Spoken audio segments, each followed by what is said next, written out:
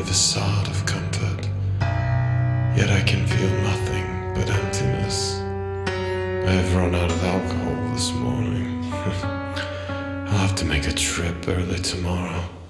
It's a long drive and I'm gonna have to make it sober.